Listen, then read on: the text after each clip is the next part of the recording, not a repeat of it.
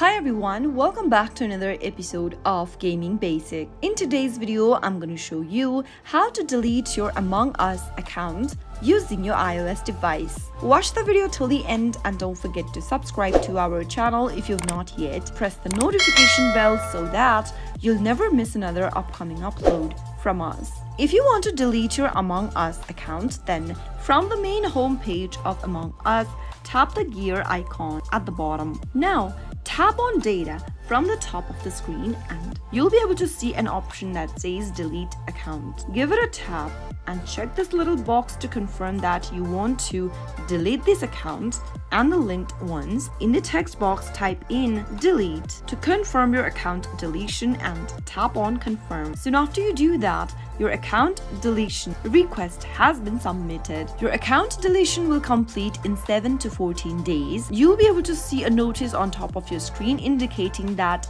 the process of your account deletion is pending. If you ever change your mind and you no longer want to delete your account, then to stop the process, you can get back to this main homepage and tap on the gear button and tap on data. Now select cancel account deletion button and click on confirm.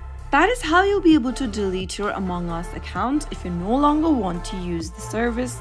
I hope the tutorial was helpful to you. If it was, go ahead and give us a thumbs up. I'll be back soon with more videos like this. Thank you for watching.